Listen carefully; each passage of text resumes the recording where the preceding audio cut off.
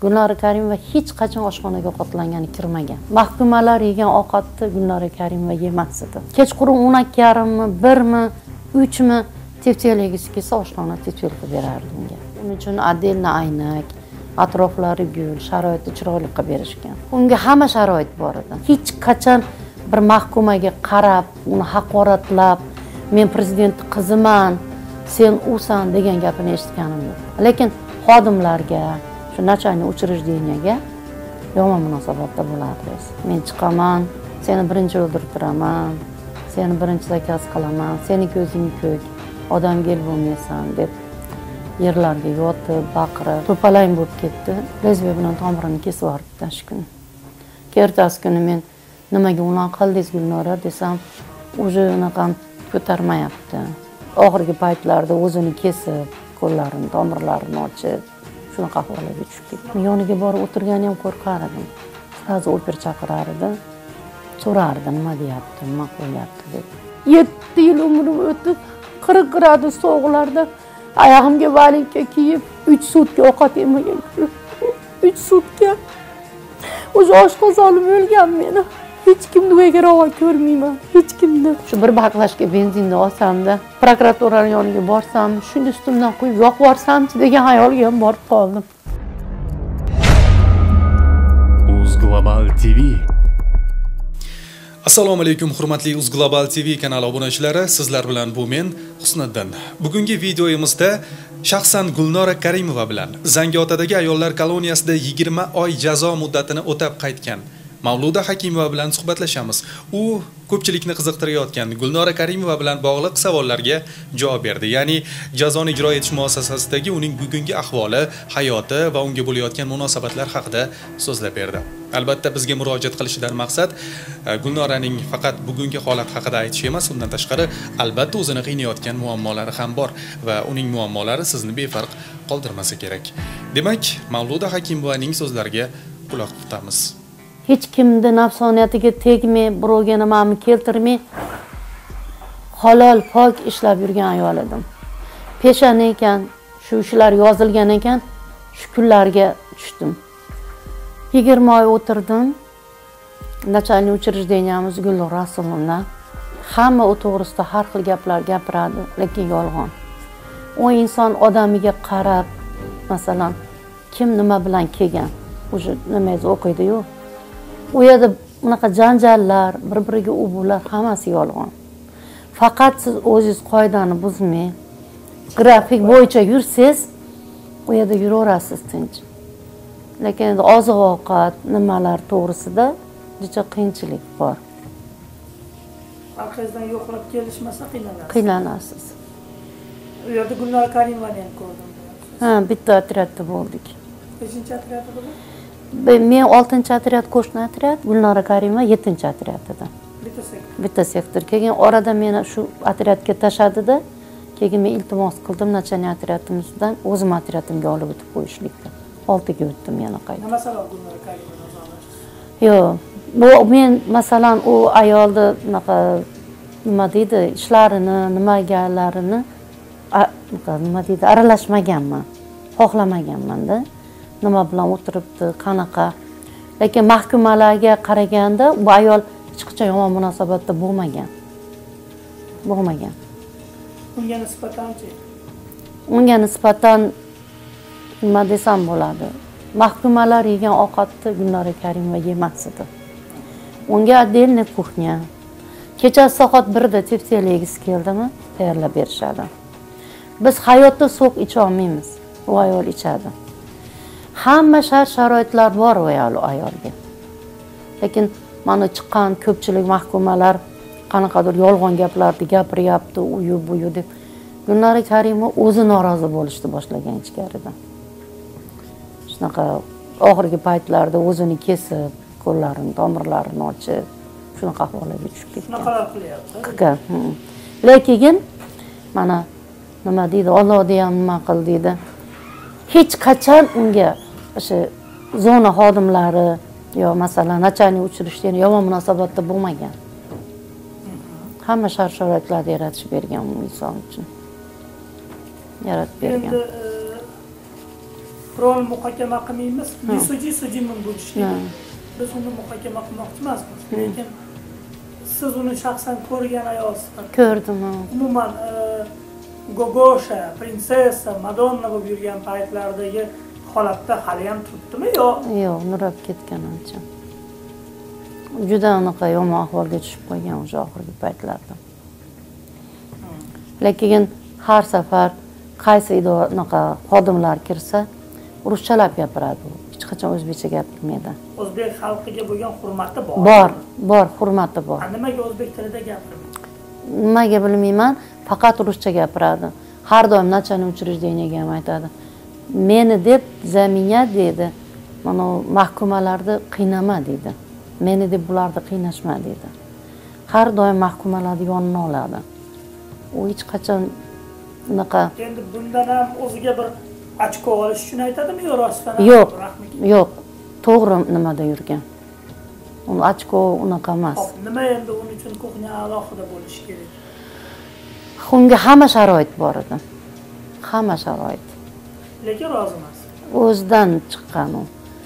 Unaqa xodimlar ham начальник учреждение ham hech qachon yomon munosabatda bo'lmagan u ayol. Hammaga qonun baravar bo'lsa nima uchun gulnora karimova o'sha e, el qatori o'sha turma balandasidan yemaydi yemagan ovqatdan ovqatlangani ham chiqmasdi. Даже проверка bo'lar edi проверкаga ham chiqmas edi hech qachon. Oxirgi paytlarda уже o'zi o'zgarib qo'llarini kesib unaqa bo'lgandan keyin majbur проверкаga chiqaradigan bo'lib qolgan.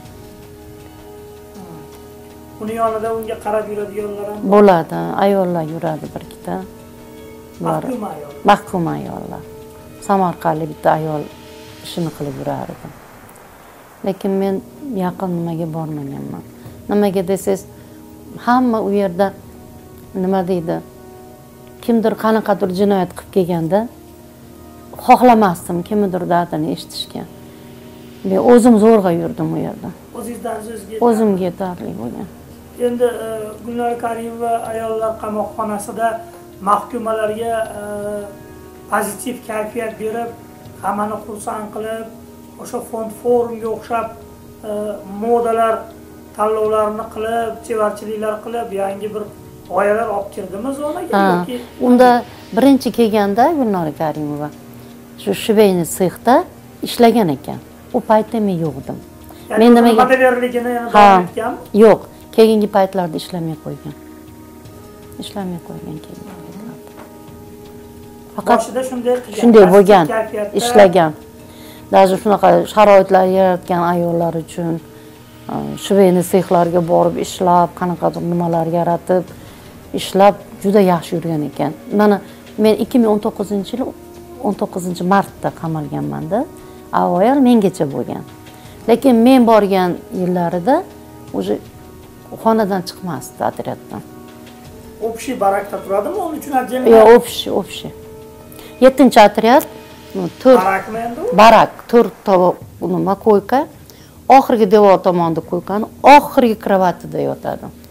Burchakda? Burchakda yotadi. Uning uchun отдельно aynak atroflari gul sharoitni chiroyli qilib berishgan.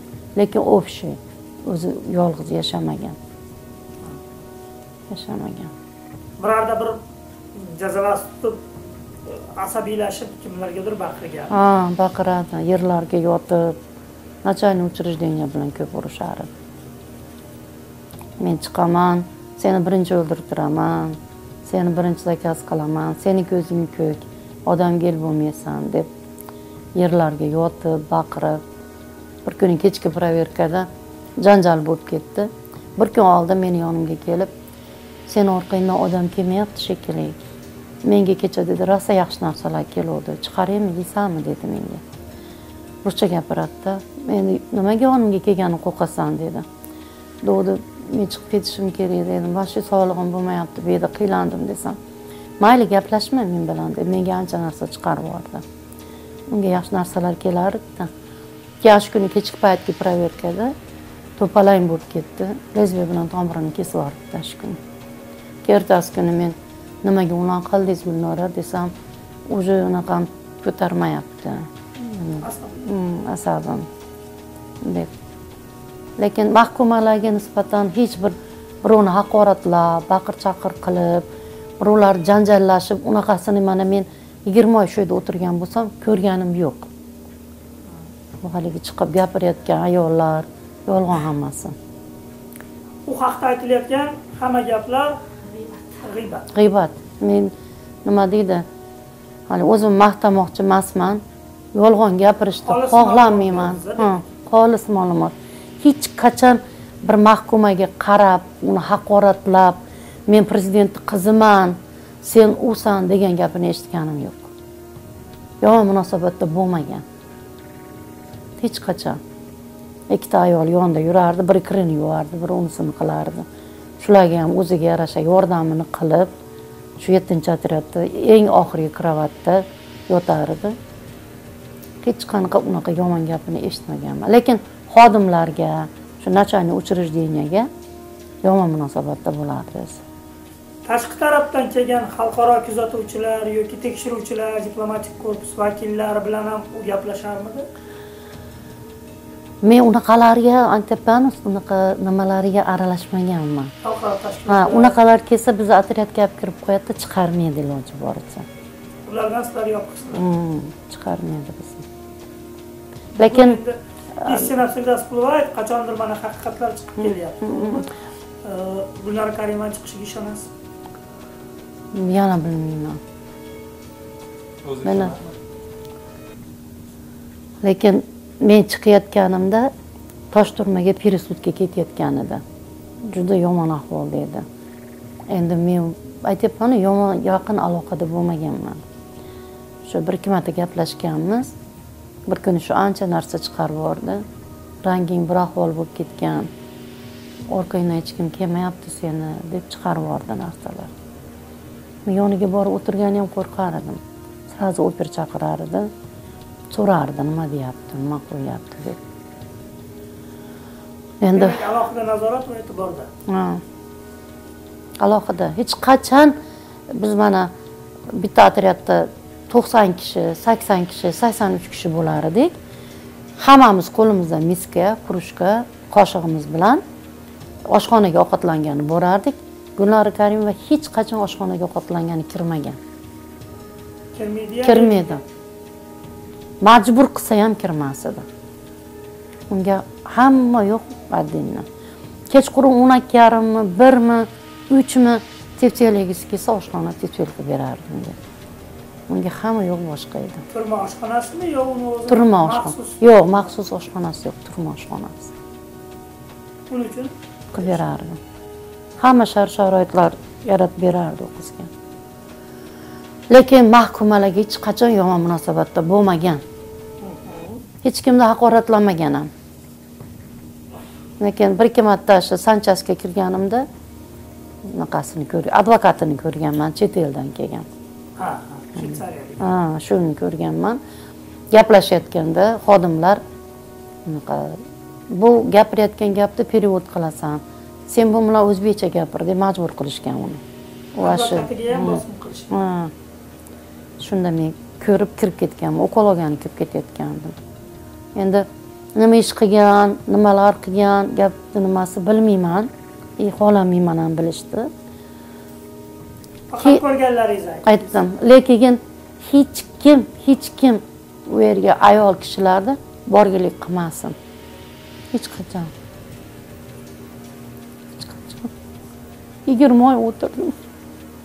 Men nimaga afsuslandim yetti yil umrim o'tib qirq gradus sovuqlarda oyog'imga valinka kiyib qavat qavat kiyim kiyib yalang qor ustida savdo qilib topgan pullarim haromga chiqqaniga afsuslandim. Hech kimni u ravo ko'rmayman hech kimni. Meni dushmanim yo'q bu dunyodayu. Bitta nima deydi ota onasi yo'q aka ukasi yo'q bir yetimcha ayolman. O'ttiz to'rt yoshimdan oltmish yoshdan oltmish bir yoshimgacha faqat bolalarim uchun yashadim. Yomon ish qilmadim. Faqat bolalarim uchun yashadim. Bilib bilmay u yerga kelib qolgan mahkumalar o'zini qilgan jazosini oladi va qonun oldida javob berishadi. Biroq bu yerdan ozod bo'lgandan so'ng probatsiya markazlaridagi holatlar umuman bu ayollarga bo'layotgan atrof muhitni munosabati atrofdagi odamlarni ularga nisbatan qarashlari fikrlari qachon o'zgaradi? Ayniqsa mas'uliyatsiz mas'ullar va ayrim mutasaddilar ayollarni yana u yerga tushib qolishligiga sababchi bo'layotganligini maldopa kuyunchaklik bilan gapirdi. Mana prezidentimiz televizorlarda aytyapti. Chiqdim chiqdimi jinoyatni sodir qilib ko'ramanda ko'p. Shularni ish bilan ta'minla. Yashashga joyi yo'qmi? Nazoratga ol. Qaytib shu ishga qo'l urmasin deb. Lekin zonada yurib men bitta narsaga bu gapni qo'rqmay aytaman. Yosh yosh chiroyli ayollar chiqib ketadida xursand bo'lib ko'chaga chiqadida ishga joylashgisi keladi. Birga borsa qamalib kelganmisiz desa ha desa kecha o'rningizga odam olib qo'yuvdim. Bor edi o'rin deydida shu ayollar xuddi mana men qanaqa sarson bo'lyapman? Shunaqa sarsonchilik bilan yana zonaga vazirat bo'lib borishadi. Shularni ko'rdingiz. Ko'p ko'rdim. Buni qo'rqmay aytaman. Nimaga endi buni probatsiya organlari ishlamaganimi yo joylardagi mutasaddilar Mana. o'sha mas'uliyatsiz mas'ul deb anaqasimi bu mas'uliyatsizligi? Mas'uliyatsizligi. Mana hozir birov aytsa birov aytsa men aytar edim.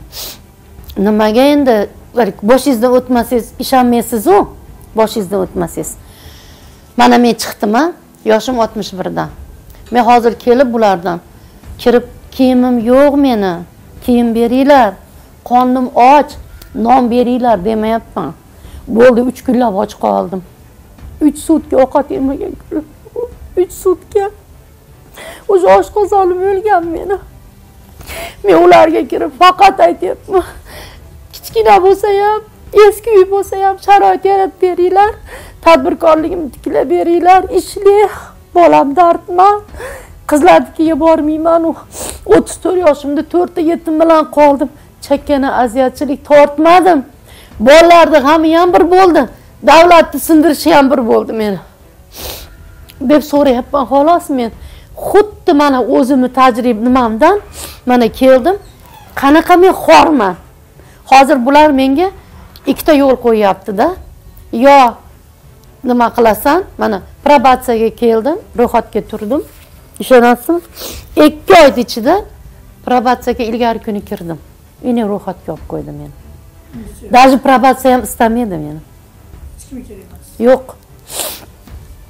Viloyat hokimiga bordim. Asaka tuman hokimiga bordim. Portalga uch marta murojaat qildim ming nomer bilan. Ikki marta o'zim borib keldim. Pensiyamni yemay ichmay. Ombudsmanga borib murojaat qildim. Man qonun huquqlari fuqarolarni inson huquqlarini. Bosh prokuraturaga bordim. Bosh prokuraturaga bir kuni borsam eshitayda shunaqa bir davleniyam ko'tarilib yomon bo'lib qoldimda ular meni qo'rqib ichkariga olib kirib ketishdi. Keyin bo'lim boshlig'i bor ekan bobojonov. Baxtiyormi degan odam bor ekan. Shuni xonasiga olib kirishdi. O'tiribman u inson meni sen kimsan? Nima kelding ham demadi stolda o'tiribman u yoqqa telefon qilyapti.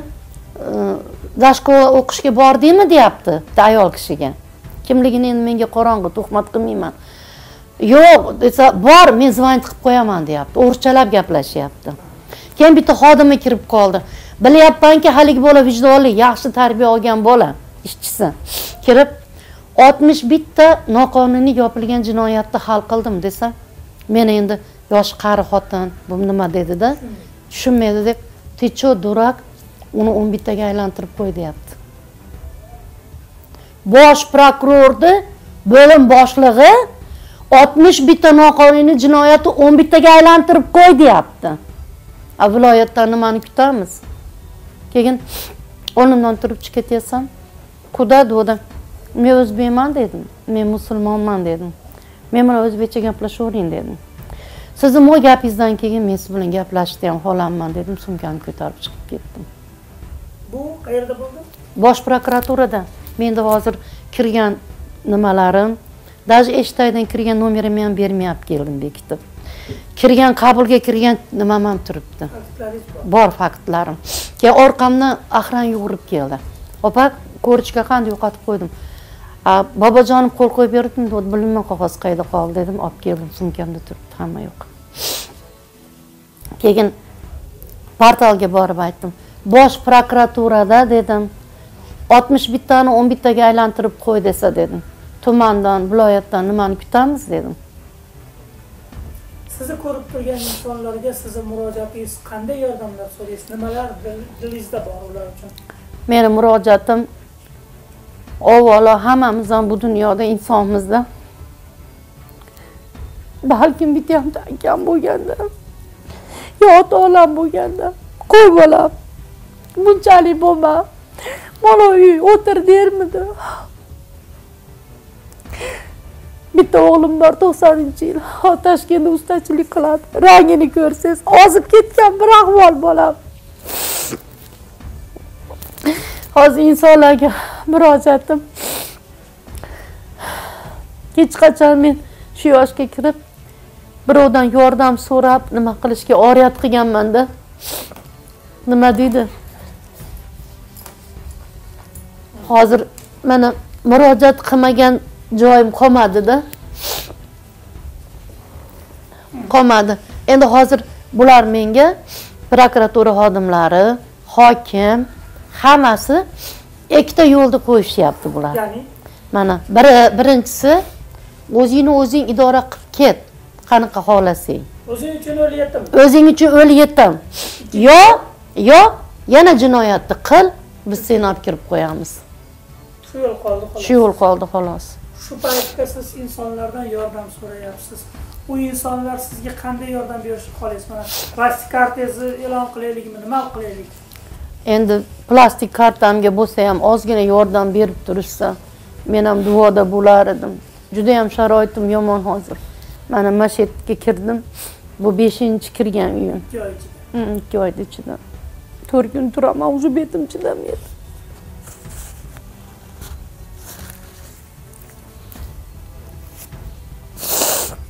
keyin qachon bu tamagirlik tugaydi? Qachon korrupsiya tugaydi? Qachon? Nima sababdan meni shu ahvolga soldi bular? Meni tayyor mo'may pulim keldi. Bular rosa ularga yaxshilab anaqa qilishdi. Keyin ikki ming o'n uchinchi yili prokuror shunaqa qilib so'kinganda men o'rningdan turasan deb turib olganimda meni kamolov tergov bo'limini boshlig'i qo'limdan tortib qo'limni chiqarib qo'ygan. Больницаga olib borib qo'yishdi. Orqamdan rosa kirishdi dori dormon deb. Men ular dori dormonini olmadim. Ana shu yerdagi bir ikkita insonlar uni buni olib kirib berishdi. Andijonni prokuraturasiga qatnashdi. Qo'limni chiqargan o'zini otib yuboraman degan tamagirlik qilgani isbotlangan hammasi. Yo'q ikkovini сразу viloyat prokuraturasiga olib prokuror bilan zamini bitta uchastkovoyni ishdan olib yuborishdi xolos. Xolos. Bitta uchastkovoy familiyasini eslamayapman baxtiyorjon amir temurnikini. Ishdan olib yuborishdi pensiyadan mahrum qilib olib yuborishdi keyin menga aytishdiki opa dedi hamma ishga shu loqaydlik qilgan palon qilgan deb bitta begunoh uchastkovoyni pensiyasidan mahrum qilib ishdan olib yuborishdi qolgan hamma qolib ketdi. Demak holvani hokim yeb kaltayni yetim yedi desak bo'ladimi? Shunday bo'ldi. Endi hozir meni mana chiqaryapsizlar. Hurmatli prezidentimdan hech qachon men norozi emasman. E, norozi bo'lishga ham haqqim yo'q. Faqat xafaman nimaga shuncha adolatsizliklar bo'lyaptida mana prokuror ham o'zini xohlaganini qilyapti. Hokim ham ko'kragini urib uy bermayman uyim yo'q deb men uni davlat tomonidan yordam so'rab kiryapman nimaga prezidentimiz shunaqa bir adolatsizliklarni bilmaydimi? Yo bilib turib prezident bo'lib o'tiribdimi? Bilib turib o'tiribdimi? Endi hozir men oltmish bir yoshimda bular meni shunaqa nimaga qo'yyaptiki yo uningni o'chirasan yo olib kirib qo'yamiz. Endi hozir shu qiyinchilikda ketaversam haligi alamdan qiyinchilikdan kim biladi nima bo'ladi yana? Bular shuni kutyapti. Lekin hayotda men bunaqa ish qilish ham niyatim yo'q qilmayman ham bular meni hozir ikkita tanlaydigan yo'lga qo'yib qo'ydi. Nohaqlikka uchraganligini aytayotgan bu ayol hammadan ham ko'proq qudalaridan xafa. Chunki ular uni ishonchiga kirishib uni juda ko'p marta katta pulga juda katta pulga uxlatganligini qo'sh tirnoq ichida uxlatganligini aytishyapti. Bu ayol bir necha muddat avval e, puldor ekanligi undan tashqari o'zini biznesi borligi. Gm o'zbekiston e, qo'shma korxonasida o'zini tadbirkorlik faoliyati bilan shug'ullanganini. Lekin mana shu holatlardan so'ng e, inqirozga kirib ketib hozirda hattoki ko'chada qolganidan zorlanmoqda. Bolalarim bilan birga umrimiz rossiyada o'tdi. Novosibir shahriga bolalarimni tashlab ketolmadim olib ketdim. Ikki marta ishlanib ishlab kelib sal o'zimizga keldik. Uchinchi marta ikki ming oltinchi yili to'rov bolamni olib yana novosibirsk shahriga ketdim. Borib shunaqa niyatda ketdim. O'zimni ona yurtimdan shu pulni ishlab kelib o'zim uchun yashash uchun uy olib bitta tadbirkorlik ishini boshlash deb. Ikki ming oltinchi yilda ketdim ikki ming o'n uchinchi yilda katta opam telefon qilyapti. Ikkita bal balat uchastka ko'tardi. Endi oryat qilmayman buni qudam qildi. Eng katta qizimni nimasi qildi. Qanday qildi? Hisob biz pul jo'natganmizda pochtadan. Pul jo'natganmiz ha biz ha. shu bu rossiyadan ishlab biz pul jo'natdik yetti yil mobaynida. Bular aytdiki ikkita uy quramiz bittasi sizga bittasi katta qizim bilan o'zlariga. Men rozi bo'ldim. Nimaga bolam bo'lgan shunaqa qilib yetti yil pulni o'tkazib ikki ming o'n uchinchi yilda shu gap bo'ldi. Kelsam haqiqatda buni sarg'abanisani tepasiga ikkita balat qilib ikkita darvozalik qilib uylar qurilib tom yopilmagan devorlar ko'tarilgan chala qurilgan uy bitta jentra moshina o'ttiz ikkinchi domdan ikki xona uy olingan. Keyin xudoni yoniga kirib aytdim yaxshimi yomonmi bolam sizlar bilan? Meni ham ikkita qizim bo'yiga yetib turibdi. Shu bitta uyni bo'lsa ham menga beringlar desam xudom xohlagan joyingga bor dedi hech narsani bermayman dedi. Shundan chiqib yana qaytib kirib unaqa qilmang xudo dedim. Umrim yetti yil rossiyada o'tdi.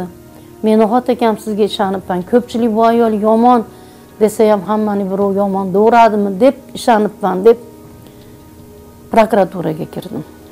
Unda mamadaliyev umidjon degan prokuror bor edi.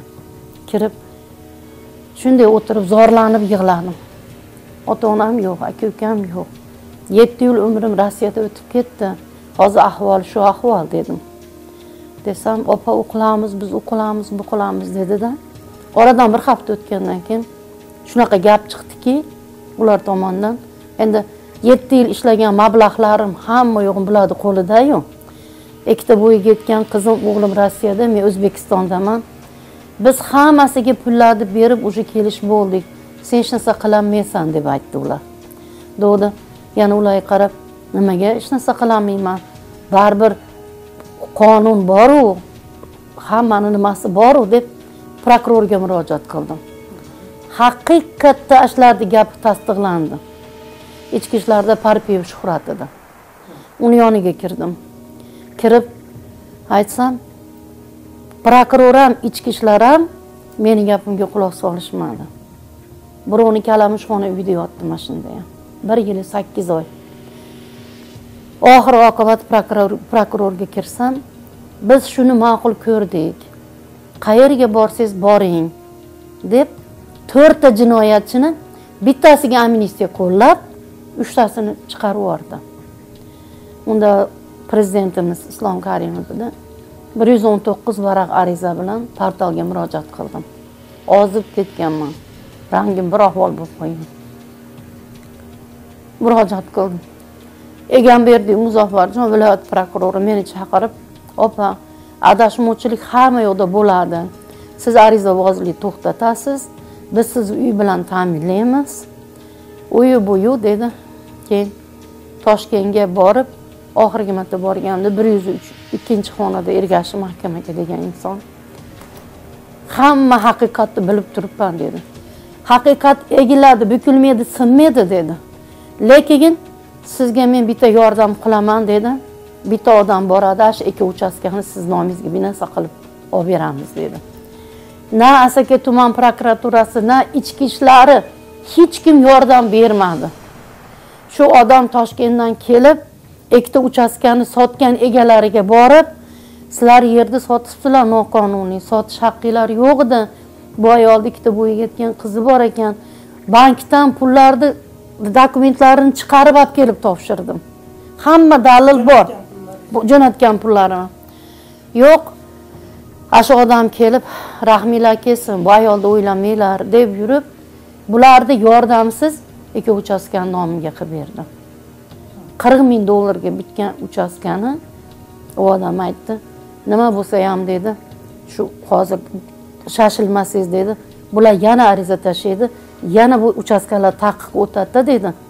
Ahvolingizni qarang dedi. Darvorsi yiqiladigan ahvolga tushib qolgansiz dedi.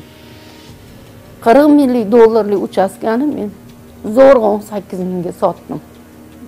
Ikki uchastkani qirq minglik mehnatimni zo'rg'a o'n sakkiz mingga sotdim. Yarim ham emas uni o'rtasida bir prokurorga kirsam hovlida o'tiribdida stolga bunday oyog'ini kirgizib olgan bitta bolani stroykada ishlayotgan bolani milisa ushlab kelyapsa kirib ketyapsa prokuror гражданский formada turibdi. U odamga aytyapti ey sen nimaga prokuror tanimay qoldingmi? Haligi uyatsiz gaplar bilan so'kinyapti. Keyin oldiga bordimda o'tirishingizni qarang dedim stolga oyog'ingizni kirgizib olgansiz dedim. O'zingizni uyingizda ota onangizni yonida shunaqa gaplar bilan so'kinasizmi dedim. Hozir men ko'chada qolgan ayolsan deb so'kinyapsanmi dedim sensirab tur o'rningdan deb turib oldim prokurorga. O'rnidan turib opa nima demoqchi bo'lyapsiz? U bu dedi. Haligi bola hamma dokumentim bor sudlanganmisan sen nahuy bilsan bilat mana shunaqalar so'kinishni boshladi. Keyin viloyat prokuraturasiga borib baqir chaqir qilgandan keyin chaqirib sen nimaga bunaqa noqonuniy gaplar gapirding? deb ularni endi bular baribir bir birini anaqa qilmaydi ekan himoyasida ekan. Zam prokuror bir kuni nimaga unaqa qilib? dedim to'rtta jinoyatchini dedim bittasiga amnistiya qo'llab uchtasini nima qilib yubordinglar nima sababdan? desam nima demoqchi bo'lyapsiz meni? Pul olgan demoqchi bo'lyapsizmi? Agar siz meni poraxo'rligimni isbot qilib bersangiz men asakani o'rtasiga borib o'zim otib yuboraman dedi yana viloyat prokuroriga borsam telefon qilib asakani o'rtasiga borib og'rib o'tirman o'tirma meni olib kel mana viloyat prokuraturasiga kelib o'zingni otasan dedi nimaga? deganda bir yuz o'n to'qqiz varaq ariza bilan portalga qatnab oxir oqibat portalda ikki marta yuragim yomon bo'lib yiqildim. Hamma yoqda bekitishib doktorlarga olib ketishdi endi hozir bu gaplarni gapirganim sababi ana shu paytda men shu pul bilan hayotimni tiklab uy joy olib o'zimni yo'lga solish niyatim bor edi. Keyin meni viloyat prokurori chaqirib sizni uy bilan ta'minlaymiz opa deb gulbanisani yonida norasmiy masjid binosi berishdi. Majburman qayoqqa boraman kimga sig'aman ikkita qiz bo'yiga yetib turibdi turmushga chiqarishim kerak. Majbur bo'ldim masjid binosiga borib yashashga. Ikki yil yashadim. Ikki yilni ichida sakson kishi meni yig'ordi. Uyni bo'shatishimni o'g'limni o'ldirishini uyingga o't qo'yaman deb kirishdi masjidga. Shunda viloyatni hokimi prezidenti saytiga chiqqan xatni tortib olib bizni sakson kishi bilan sakson kishi bilan meni viloyatni viloyatni hokimligiga yig'di. Shu hozir abdurahmonov viloyatni hokimi. Nima sababdan bu opani uyiga o't qo'yaman deyishding? Nima qilyapti? Uyiga jalaxona ochdimi? Noqonuniy ish qilyaptimi? Bu xotin har doim ko'chada bolalarini tirikchiligini o'zi ko'targan ayol bu. Men senlarni hammangni jinnixonaga joylayman deb turib ularni mahkam ushlagandan keyin mahkam ushlagandan keyin menga aytdi. Opa dedi nimaga prokuraturaga kirmadingiz? dedi. Prokuraturaga dedim ellik ming dollar pulim ko'chalarda talon toroj bo'lib tamagirlik qilib yegan odamlarni yoniga nima deb kiraman? dedim. Kirmadim dedim. Bular o'z oyog'i bilan prezident saytiga yozib yozishib shuni o'zlari nimasi bilan tushdi? Tushdi. Keyin viloyatni hokimi viloyat prokuraturasidan bir odam keldi prokuror. Prokuror keldi. Shu prokurorga aytdiki shu nimani dedi? E, ish ochishasan dedi. Opani biz nimasini ta'minlashimiz kerak dedi. Deb jinoyat ochishdi. Ochilgan jinoyat asakaga kelib yopilib ketdi. Viloyatda ochildi. Ha asaka tumaniga kelib bu jinoyat yopildi. Viloyatda ochilgan. Viloyatda ochilgan. Abdurahmonov menga opa biz chora ko'ramiz. Nima qildingiz? dedi. Majbur bo'ldim. Uylarni pachaqlab pollarini qilib hamma yoqda chiroyli qilgan uyimni bitta ayol topib men sizga masjidni sotmayapman yuragim ko'tarmayapti o'g'lim ikki uch marta aya o'zimizni bosib qo'yaman dedi. Agar men o'lib ketishimni xohlamasangiz bu yerdan chiqib ketaylik dedi.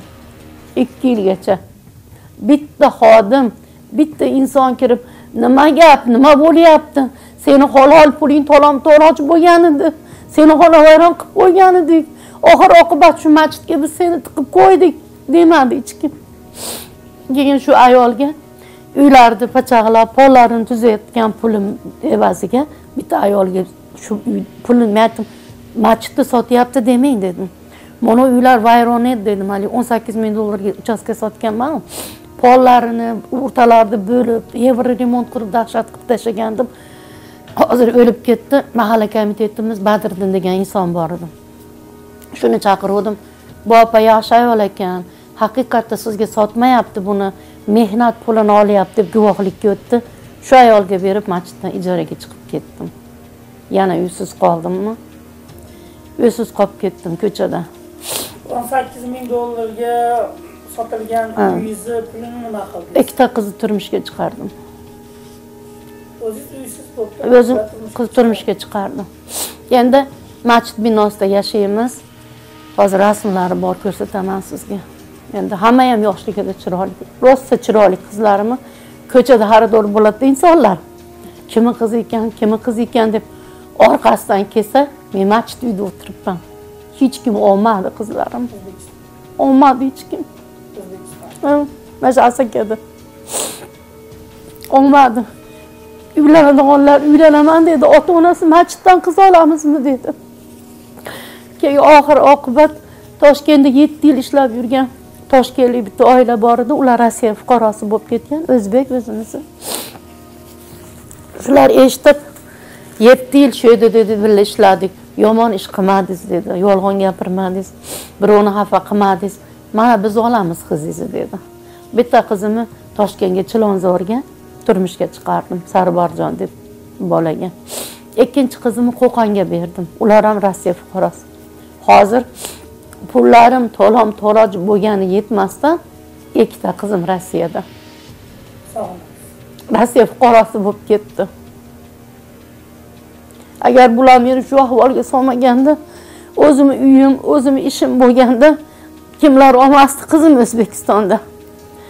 Hozir rossiyada hozir bitta o'g'lim bor dokumentlari bor ko'rsataman sog'lig'i yaxshi emas учетda turadi endi bularni shuncha to'sqinchilik qilganiga qaramay qiyinchiliklarga qaramasdan yana titalab tirmashib u yerga borib yig'lab bu yerga borib yig'lab jmga tadbirkorlik yo'nalishi bo'yicha firma ochib ishga joylandim. Mana shu rajabov rustamjonni yoniga borib rahmingiz kelsin topgan pullarim shunaqa bo'lib ketdi. Lekin ikkita qizni chiqarib oldim eplab hozir endi mana shunaqa kvartiradaman desam shu inson shartnoma tuzib berdi menga. Ha jem bilan. Opa dedi ayol kishini hech qachon olmaganman dedi.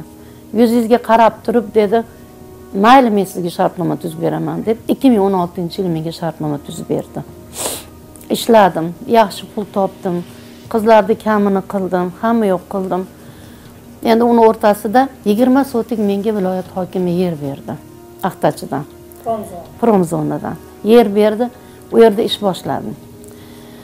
Sexlarni qurib hamma yoqda qilib ishim endi rivojlanadigan paytda eski hokim erkinbek degan asaka tuman hokimi toshkentda qochib yurgan mamadaliyev xurshid degan odamni bizga unaqa prorab qilib qo'yib qo'ydi.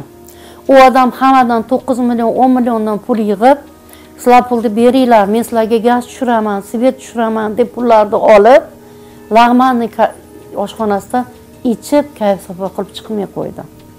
Keyin men aytdim shuhratbek nima unaqa qilyapsiz? Meni ota onam yo'q aka ukam yo'q. Bitta dardman o'g'lim bor.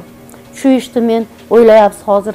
Yaxshi erim bo'lsa toparman tutar bolalarim bo'lsa uyda namozimni o'qib o'tirarmidim? Nimaga bunaqa qilyapsiz? Dedimda men uch million pul berdim.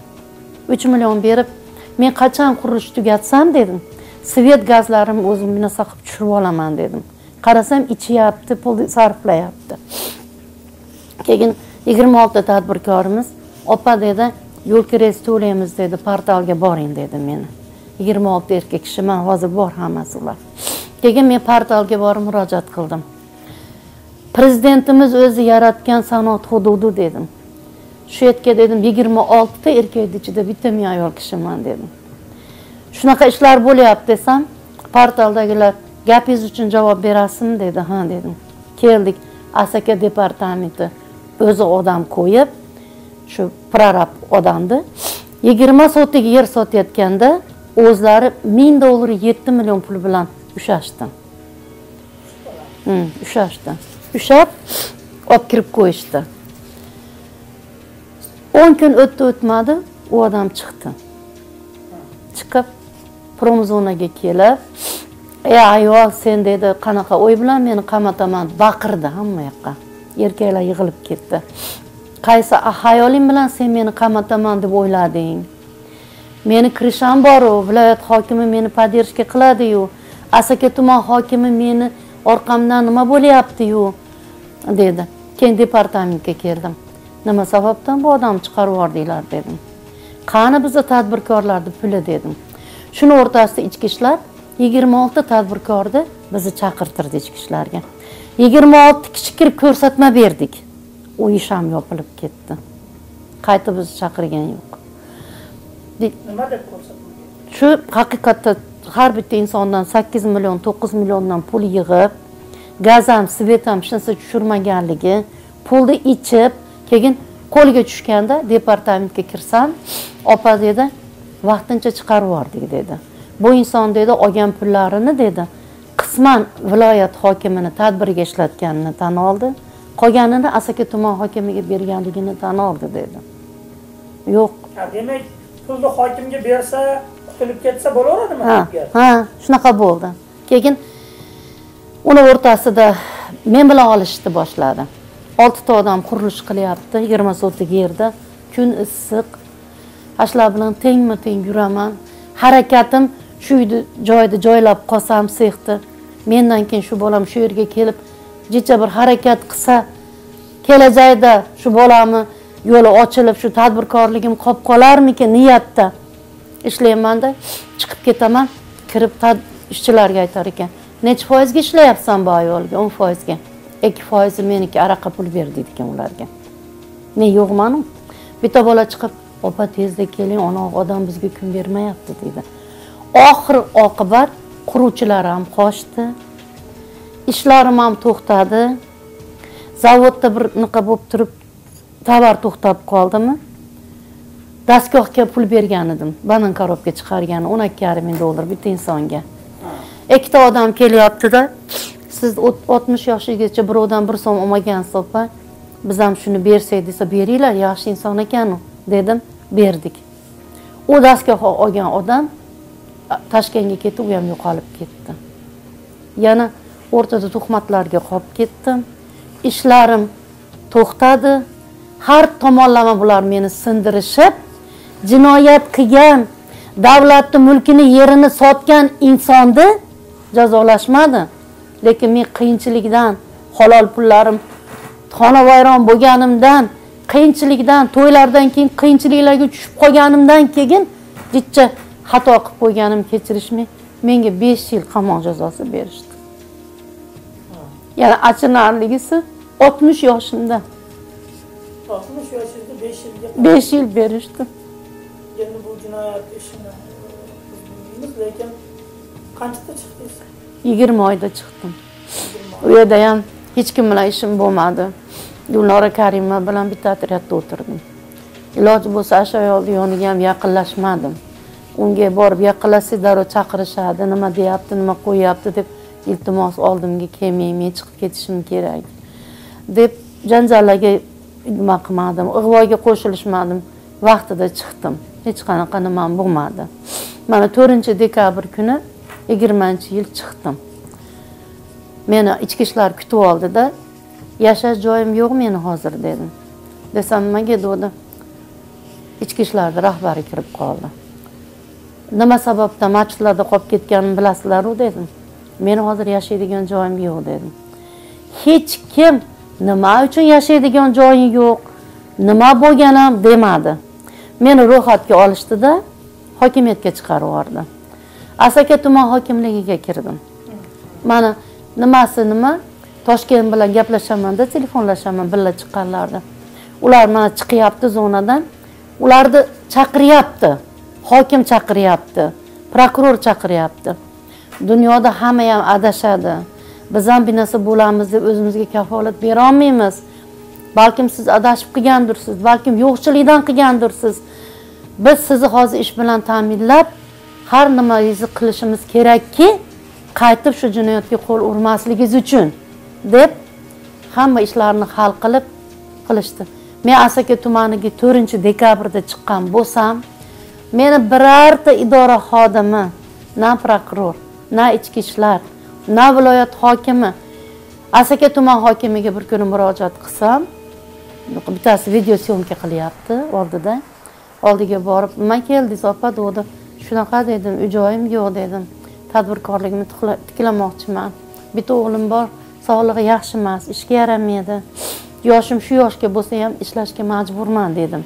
Desam asaka tuman hokimi alixonov qo'lini ko'kragiga qo'yib meni sizga beradigan uyim yo'q deb baqirdi. Keyin oldiga borib nimaga baqiryapsiz dedim. Men sizni uyingizdan uy so'rayapmanmi dedim. Sizni uyingizga borib yashayman deyapmanmi dedim. Davlat tomonidan qanaqa yordam bor ekan deb kirdim men dedim. Desam qayerdan keldingiz degdi shunaqa dedim to'rtinchi dekabr kuni zonadan chiqqan edim. E opa opa bilmabman bu yoqqa o'ting degdi gap gap gapiradigan gapingizni gapirib bo'ldingiz dedim. Viloyat prokuraturasiga bordim. Birinchi o'rinbosari qabul qildi. Asaka tumaniga xat bilan chiqarishdi. Asaka tuman prokurori menga har borganimda meni aldadi. Opa e, ikki uch oylik kvartira pulingizni to'layman. Iyun oyida men sizni subsidiya qilib uy bilan ta'minlayman deb ikki oy mobaynida meni shunaqa gaplar bilan aldab kelishdi. Mana oxiri mana ikki oyni ichida shu uyim beshinchi uy kirib yashashim. Ikki oy ichida beshta uy beshta uyga ko'chdim. Beshta uyga ko'chdim. endi endi men savollar berayman ota onasi aka ukasi yo'q bu ayol bizdan umid va najot bilan sizlarga yuzlandi va biz bunga sababchi bo'layotganimizdan albatta mamnunmiz. Biroq bu ayolni bugun na uyi na joyi hatto yegana noni ham yo'qligini aytayotganda to'g'risi inson qarab chidab turish juda ham qiyin bo'ldi. Biz ham juda ham ta'sirlandik. Bu ta'sirli murojaat albatta sizlarga ham yetib boradi. O'zlaringizni fikr va mulohazalaringizni layk va kommentariyalarda bildirish bilan birga o'sha e, maluda hakimovani shaxsiy hisob raqamiga ya'ni plastik kartochkasiga erinmay e, beminnat imkon darajasida qo'ldan kelgancha muruvvat ko'rsatasizlar degan umiddamiz. Chunki bu ayol bugun har qachongidan ham hammadan ham e'tibor va E, bizni homiyligimizga va ko'magimizga muhtoj. Bir kuni ko'chada qolib qoldim. Boradigan joyim qolmadi. E, Andijonda shunaqa endi aytmayman nima ish qilganini. Bitta ayol kishi bor. Zonada birga o'tirganmizda zonada birga o'tirganmiz. U ayolga yana olti yil bo'ldi chiqishiga. Menga savol berdi qayerqa borasiz xola? deb. Boradigan joyim yo'q hayronman. Xudolardan oriyat qilaman desam shu ayol meni ayam bilan borib o'tirib turing dedi. Andijonda ham yashadim. Bir o'n kuncha yashadim. Yo'l kirasi yeb tashladi asakaga qatnagani. Bir kuni ko'chada qolib ketdim. Keyin hokimiyatga maqsudga telefon qildim. Maqsud bey bugun ko'chada qoldim qayoqqa boraman? deb. Keyin bu ayol kimdandir nomerimni topib nimaga unaqa qilasiz? Sizdan yomonlik ko'rmaganman yordam ham qilgansiz. Bu yoqqa keling deb shu ayol chaqirtirdi shu yerga kirdim. Endi bu yerdan chiqib qayoqqa boraman bilmayman. Turasiz xudo xohlasa siz yaxshi joyga borasiz. Sizga albatta yaxshi joy yaxshi sharoit ta'minlanadi degan niyatdamiz endi albatta hozir o'zimizni imkonimiz yo'q. Bu ayolga ham aytadigan gaplaringiz mana uy issiq boshpana berdi sovuq kunlarda nima deysiz bu avvalo rahmat. Endi bu ayolni anchadan beri tanirdim ana shu jemda ishlab yurganimda chi- qiyinchilik ko'rib qolganda endi gapirmayman nechi pulligini yomon ahvolga tushib qolganda yordam qilgan edim. Qaytib so'ramagan edim. Mayli sizga nima qilmang deb. Istab so'rab yurib olib kelib sizni kimligingizni nima ekanligingizni bilmaymanmi deb olib kirdi. Avvalo rahmat tan joni sog' bo'lsin shu ayolni ham o'zi yolg'iz hech kimi yo'q uni ham. Shu yerda o'tiribman bir haftacha bo'lib qoldi kirganimga. Endi shu yordam beradigan insonlarga avvalo olloh qanchalik menga yordam qilsa ollohim ular menga birda nima qilsa shu insonlarga ollohim behisob nimalarni bersin.